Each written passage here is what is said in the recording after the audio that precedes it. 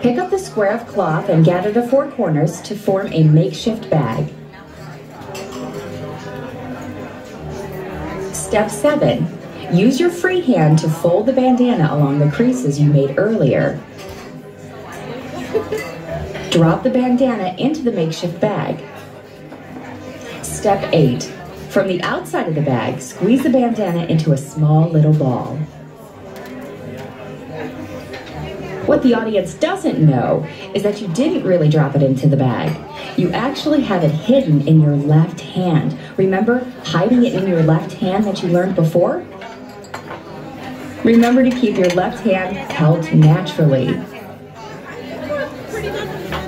Step 9. Make a magical gesture over the bag.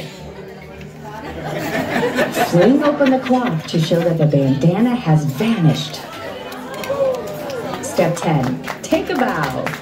You should now receive a well-deserved round of applause.